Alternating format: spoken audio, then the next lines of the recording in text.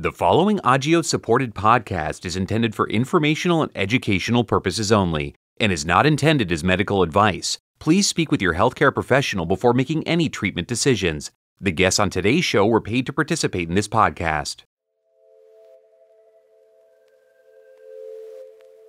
Welcome back to Just Listen Voices of PK Deficiency. I'm your host, Dr. Rachel Grace. In the US, June is the month of Father's Day for those who celebrate it. In honor of that, this episode features a father and his daughter. You might remember Nathan Thompson from our very first episode of the show. Nathan has pyruvate kinase deficiency and shared his story with us. If you haven't listened to that episode yet, please be sure to go back and cue that up. For today's conversation, Nathan is back with his daughter Zoe. Zoe shares her unique perspective on what it was like growing up with a dad who has PK deficiency, and Nathan talks about how his PK deficiency has affected his parenting. One of the challenges of having PK deficiency or any chronic diagnosis that begins in childhood is that the impact of the disease and the needs of that individual change tremendously over time.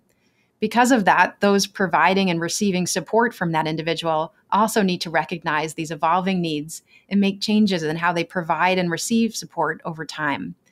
The understanding of the disease and its impact really varies from childhood to adolescence to adulthood, both for the affected individual, but also for their guardians, siblings, and eventually their children. We are so fortunate to have Nathan and his daughter Zoe here today to speak about the impact of PK deficiency on their family. It's a great conversation, and we hope you enjoy it. Let's listen in. I'm Nathan Thompson. I'm from Idaho, and I'm currently living with PKD. I'm Zoe Thompson, and my dad lives with PKD. Nathan, how did you tell Zoe about your pyruvate kinase deficiency? I first told Zoe about PKD more gradually, I think. Growing up, it was never a one time sit down, big explanation. I think it was a culmination of little uh, explanations over a long period of time. They kind of added up to this general sense of understanding, I hope, that instead of unloading it all as a big dump, I didn't want to dump all that information onto her uh, in one sitting. So I think just growing up, we tried to gradually introduce her to some of my limitations. Nathan, how has pyruvate kinase deficiency affected your parenting? Up until recently, I thought I was a pretty terrible father because I felt I failed my children in a lot of ways. I compared myself to able bodied people frequently, and it really led to feelings of disappointment in myself and kind of shame. And, you know, recently, since I started working with a therapist, I realized that I did the best I could. I don't think there was any time when I purposefully or even I didn't do as much as I thought I should every day. And regardless of whether that wasn't as much, it was enough because so turned out awesome. I've got some great kids. I, I feel like uh, being a father has been one of the most difficult things I've ever done, but one of the most fulfilling. I feel proud that my dad thinks I'm cool. I worked for as long as I can remember. As soon as I was able to start working, I felt that was the right thing to do and what I was expected of me, regardless of my ability to do so or even do so well. And so it left a gap for my home life. I wasn't as present as I would have liked to have been. I'd work eight or 10 hours a day and come home and fall asleep and get up the next morning and do it again. There was rarely any times when I felt like I was able to just feel good and relax and be with my kids and not worry about pain and not worry about where am I going to sit down if I need to. And there was always this feeling in the back of my mind that if I wasn't putting my kids first, then I wasn't doing the right thing. And it led to a lot of complications down the road, but also led led to feelings that I did leave that let my kids down in some sense. But I really do feel like I tried, but it was difficult being there as a father, even on weekends sometimes. Spend the whole weekend trying to recover from the work week and still feel miserable going into work on Monday. It was pretty tough to be there as a father. I don't feel like I was ever let down as a kid because my dad wasn't present. From my understanding of what PKD was, being gradually eased into it, I understood that my dad was tired than most people, so I never felt let down or disappointed there were times where I wish he was there, but I understood why he couldn't be there. But the times that he had energy to participate in family outings and things like that were really special to me. We would go camping, and I remember we went on a picnic, and they were like memories that I'll always have because they were a little more special than. It did that for me too. I didn't make it to many of those cheerleading practices and games that she attended, but the times I did make it, it really did feel really important. It was a big thing for me. And so I feel like hopefully it imparted a sense of importance to let her know how hard I tried to be there. Zoe, do you remember a time when your dad couldn't participate in an activity that meant something to you? What did that feel like? Most of the time, I would feel like a little sad or disappointed at first, but if I think about it on the bright side, it gave me some independence where I wouldn't rely on somebody else's gratification. Like, whenever I participated in a sport or an activity, it was because I enjoyed doing it and I was doing it for me instead of making my family proud. But I think it did give me some independence. Agios is a biopharmaceutical company that's fueled by connections with patient communities, professionals, partners, and each other. Building on these connections and the company's unmatched leadership in the field of cellular metabolism, Agios is pioneering therapies of genetically defined diseases, a broad group of rare and more common diseases that are typically severe and life threatening. Near term, Agios is focusing on advancing a clinical pipeline of medicines for hereditary hemolytic anemias. To learn more about PK deficiency, visit knowpkdeficiency.com. That's K N O W P K deficiency.com. Nathan, as parents, we always tend to put our kids first. Is that different when you live with PK deficiency? It's absolutely putting your kids first as a parent with PKD is very difficult because you have to balance your home life and your work life. And ideally, you don't work as hard or as much as you could. So you have some energy or stamina left over to spend with your children. And it really, it's a juggling act. And you feel like sometimes there's so much going on that all you can do is keep all the balls in the air. And you're lucky just to not have any major catastrophe and that's the best you can do. Nathan, how did you best support Zoe? Now that I'm retired, uh, I'd have to say that my support comes in emotional, and I try to spend as much time with them as possible to be present. I try to contact them every day and let them know how much I love them and thinking about them because I have a little bit of extra time on my hands and I'm not just totally wiped out. So I feel like I'm able to be more present for them in other ways that I wasn't able to before when I was working all the time. I feel like I'm going to be able to be a more loving and caring and present father and able to show that more easily.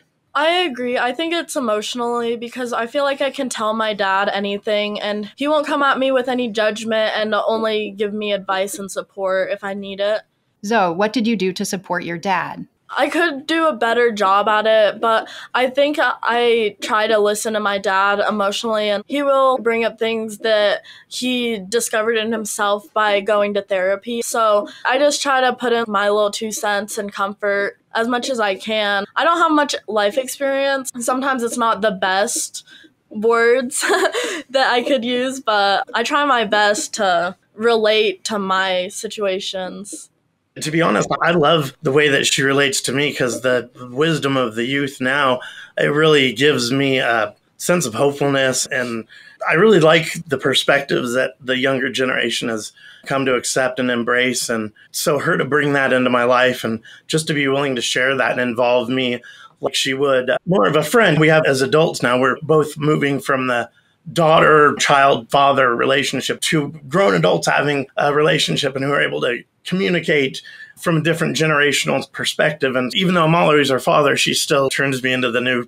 hip words and stuff. I mean, I'm sure hip's not new, but uh, just it's great that she brings me up to the current culture kind of stuff and keys me into some of the stuff I feel left out on and provides me with the perspective of younger kids that really does provide me with when Agios gave us the opportunity to go to Boston, I feel like a, a way I supported my dad was since I'm able bodied, I was able to push him around. And I know that with PKD, you experience brain fog. So I helped keep us on time and navigated us around the airport. And I was in charge of just keeping everything together. I wouldn't have been able to do the Boston trip without her assistance. It was amazing, uh, all the help she gave. I hope we can do more stuff like that. I'd love to travel more with her because she was so good at taking care of me and making sure that my needs were met. I was helping him pick his outfits, and he doesn't really like my music taste. It's also know. good to hear it. I wouldn't be exposed to it otherwise. I think your generation's openness and disregarding the toxic masculinity of olden times, like our parents had more of the don't cry attitude and it seems like her generation is totally cool with yeah dudes mm-hmm. go to therapy dudes cry dudes have feelings and that isn't something that i feel like a lot of people my generation experienced from their peers and mentors so that's a huge for me is to validate those feelings that I've had to push down a lot because dudes aren't supposed to show that they're tired. Dudes aren't supposed to have that feeling of any feelings. You're just supposed to go to work and be a man. And sometimes with PKD, you can't do that at all. And it's cool that this generation is a lot more acceptant of that. And I think another thing is from my dad's understanding that if he got somebody with the same gene of PKD, it could be passed down to his children. So he married my mom, who's Thai. So when he saw me growing up as a person of color in a predominantly white town and he saw my struggles, I think it gave him an understanding of racism and microaggressions. And it taught me also there's a lot of different ways of being left out, whether it's your skin color or whether it's your ability. It's hard to be not one of the crowd, not being able to fit in as well, especially in a small town like where we live. I've actually been in therapy a year and a half or so ever since I moved into this nursing facility. And it's changed my life. It's been the best thing I could ever do. I wish I had started therapy 40 years ago as anybody living with a rare disease or a person of color or a person of a different gender affiliate. There's so many reasons why we're individual and society makes us not feel proud of that.